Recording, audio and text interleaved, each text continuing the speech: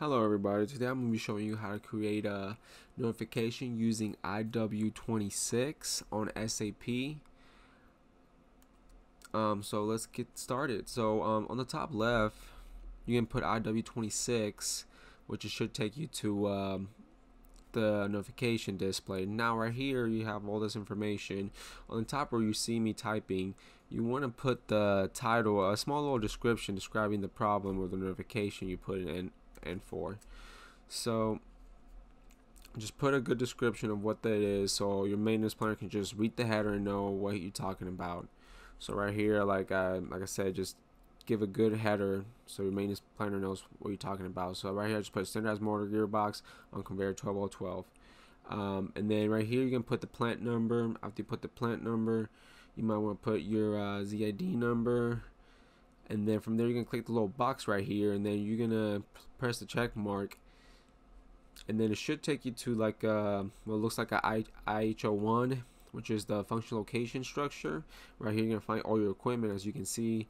Um, here's just some assemblies. Um, you got the um, Bakeline 1 processing room and then this is all my equipment for the processing. Now you're gonna look for the conveyor which it was 1203 so there you go I found it. Click it check mark press check mark in. And then here um, you can pull a full description of um, what you need needs to be done but I'm gonna skip this because the video was pretty long what it took.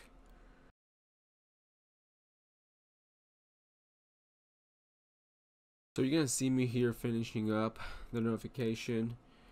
Um, so right here you're gonna put priority put um, whatever you need to put. Is it urgent? Is it next week thing you can work on? you put the priority then put go to objectives. And then here you're gonna see um, a lot of different um, components. It can be like cylinder drive. Um, do your best to identify these because in the long run it's gonna help a lot um, when running different queries on SAP so I mean for example you can rank these uh, notifications as PM01s, emergency uh, emergency work orders, and then you can um, put these type of equipment. So then on IW37, you can run a query where we'll pull all the breakdowns for a filter, fuse box, gearbox, heat element, and whatever you guys have on your list. Um, and it's pretty nice knowing what what you guys have most uh, breakdowns on and here damage here's another um, screen. Here you can see that um, we have like um, plugs stuck closed worn parts condensation burn broken. You can also use those um, to later on create different charts and that and that will help that will be more a little bit more breakdown analysis which it will um, those type of data will help a lot for the breakdown analysis sheets so here causes same thing. You have all these different causes. Like what could have caused the um, part to break? You have accident damage contamination manufacturer defects. Here also another big key of um, helping your system lab labeling these notifications with this um, these labels can help you get to root cause and knowing what what's the issue. It can be an accidental damage or to put up guards is it uh, is it uh, installation related? So do we have to train our technicians to install parts better? All those kinds of stuff. It's all good data.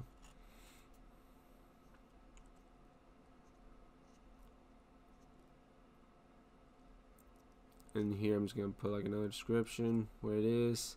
Mortar doesn't have a PM, cost text, entry, and then after you're done, then you're just gonna go up there and click and save and I'll put your personal number so then they also know who who put it on there. And right there shows my name.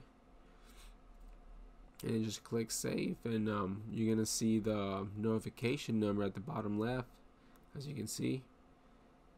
And that's pretty all that's all how that's how you enter a notification through IW26